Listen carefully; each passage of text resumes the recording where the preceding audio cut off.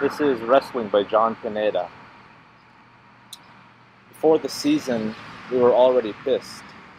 Our bodies tightening around ribs, our eyes like panthers sinking into shadows. We had given up food, sweat, until the air around us was heavy. The only thing we cared about was winning. At our first match, I wrestled a guy I had met summers ago at a Filipino gathering some first communion or baptism, by a man-made lake separating the neighborhood in two, where most of the children had wandered.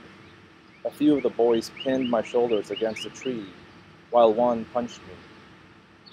I could say it was because I was only half, a mestizo, but that would be too easy.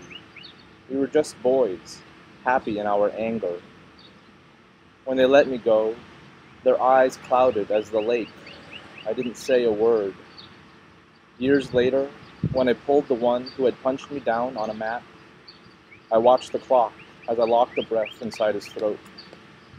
He could have been my brother. His hair the same coarse black strands, his face filled with my shadow. I held him there in front of everyone. I was wrestling by Jon Pineda.